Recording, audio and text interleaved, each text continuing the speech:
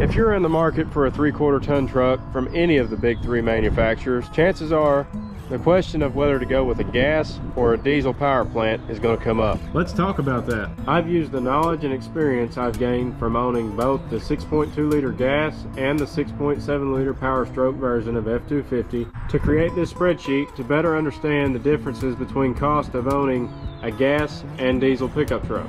The cost of maintenance was derived from current cost of Rotella T6 5W30 motor oil, BlueDEF added every 5,000 miles, and Motorcraft filters, as well as a 10,000 mile service interval. The fuel prices shown are based off my local fuel prices, and for easy calculations, we're just going to assume that the price of diesel and gas doesn't vary throughout the year. The fuel economy numbers shown are from my real world use of the 6.2 liter and the 6.7 liter.